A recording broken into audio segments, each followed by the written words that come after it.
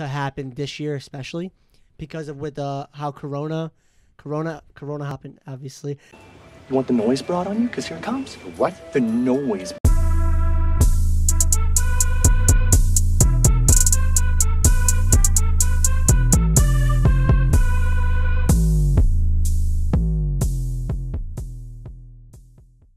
Want to put this back into perspective of the division odds because what we talked about before uh, we heard about the signing on the podcast a couple of weeks ago was wherever he goes shouldn't move the needle.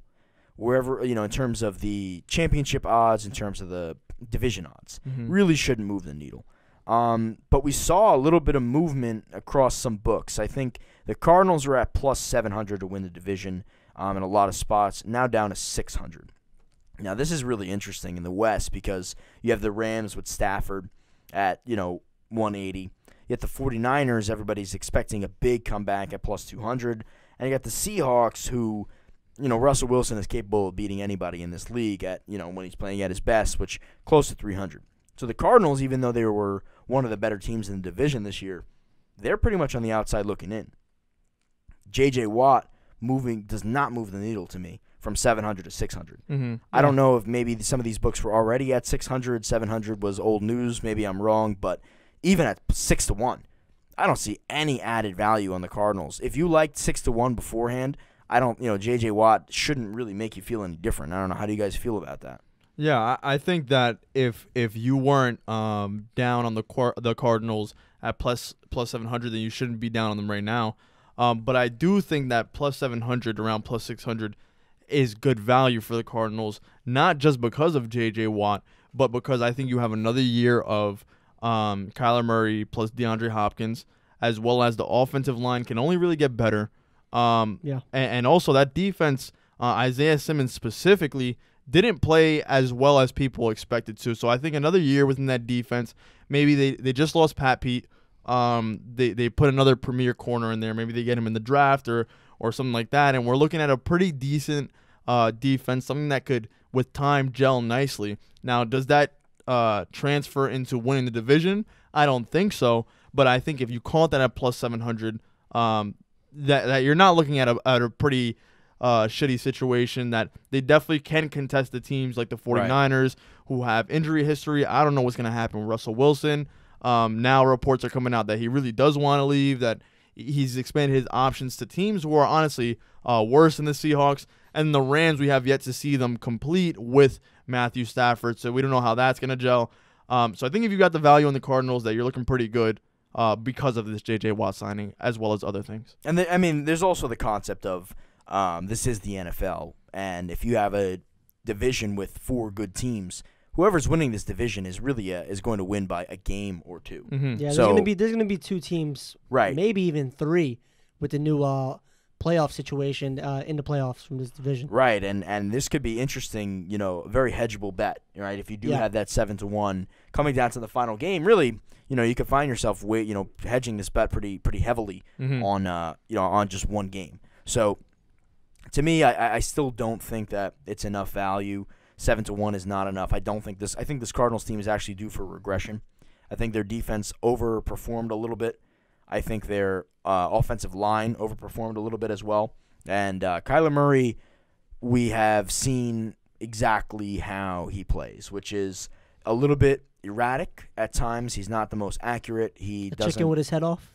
he doesn't have uh, the best uh, accuracy. I, I, the whole season, if you listen to the podcast, I, I can you know I likened him to a shortstop playing quarterback. Yeah. Really, there's a lot of slinging, a lot of you know covering range, and don't get me wrong, he's a talent to watch, and and uh, one of the most difficult people in the league to stop on the run. But I, I think uh, elusiveness only gets you so far. The team around him is still not that great. It shows you, you know, you don't. Although you have a high-powered offense, if you don't have the coaching, you're not gonna have a good. You're not gonna have a good team. Yeah. That being said, if you look around the futures market, you can see them at 15 to one to win the divi- uh, sorry to win the conference.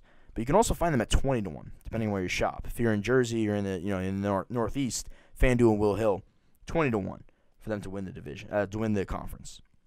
Is that enough value? Um, for me, I don't like to to really throw any futures out before I see what happens in free agency and the draft. and um, a lot of things are going to to happen this year, especially because of with uh, how Corona, Corona, Corona happened. Obviously, um, it affected all the TV deals. It's gonna affect the the cap situations. So you're gonna see a lot of a lot of players take like one year like proven deal so they can get more money next year. So I think I I heard a player I forgot who it was say that they're expecting like this NFL this NFL free agency period to be a a, a period where teams are going to be creating like super teams in in a way that like because players want to take that one year deal and trying to prove themselves and whatnot. But looking at division odds, Rams plus one eighty two. I think that's that's way too high, especially for a team that just has a new quarterback. Mhm. Right. I, I I don't think you can ever bet on a new quarterback with a new system, with a new coach, or anything like that, unless obviously it's Tom Brady, because Tom Brady will figure things out. And Matthew Stafford, we haven't seen him play any big games, Yeah. so you don't know how that's going to work. Yes, they have a bunch of talent on the offensive side. Yeah, they have a bunch of talent on the defensive side, but you still don't know how that's going to gel, right? 49ers, obviously, a lot of people, like you said, Max, are expecting them to come back strong. Had a bunch of injuries. Uh, Jimmy G, while injured, while while not inj- injured and not injured, he did not look good. Right? No. He looked he looked off even when he was on the on the field. So I do expect. Uh, obviously, they had a bunch of hits on the running backs, and you have one of the best running back committees in the NFL. Mhm. So I expect them. I expect them to be back. I do like their uh, like them to win the division, but I think 205 is still a little too high, right? Uh, Seahawks plus 285. Obviously, Russell Wilson can do anything, right? He can. Uh, he can win his division. He can win the conference. He can possibly win the Super Bowl next year.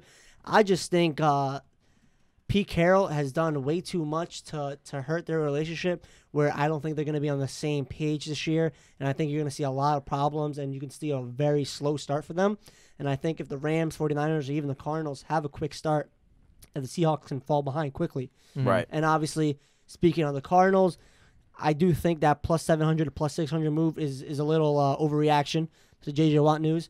When has a ever when has a D line player ever helped uh, uh led a team to a Super Bowl or anything like that? Right? Uh, no one except Over for the other players, that, you know. yeah, exactly. Aside from a player like Lawrence Taylor, I don't think that can happen. I don't care if JJ Watt can can have 15 sacks this year.